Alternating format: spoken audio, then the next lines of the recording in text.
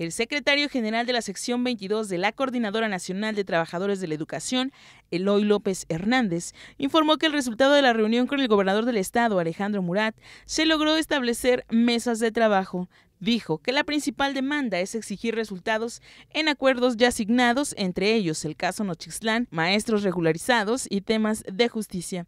Manifestó que si hay disposición del gobierno, habrá resultados a corto plazo y si hay voluntad del gobierno, a partir del día de mañana ya se pueden empezar a operar sus demandas.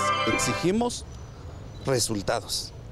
Finalmente decimos de que se tienen que operarizar hay temas muy, muy centrales que simplemente se podría decir que emitan el comunicado, que se den la orden, que se dé la indicación y se van. Hay temas que también se llevan su proceso, el tema de justicia. Hay compañeros que pues efectivamente habían que reabrir su expediente para darle nueva causa, pero hay temas en apelaciones, como el caso de Roberto, el caso de que pues simplemente se tienen que detener porque no hay mayor razón de seguirle deteniendo. En este contexto, el gobernador Alejandro Murat dijo que se instaló la mesa para darle seguimiento a la minuta que ya presentaron los docentes y los acuerdos previamente establecidos. Recalcó la disposición para atender todos los temas planteados por la sección 22 de la CENTE.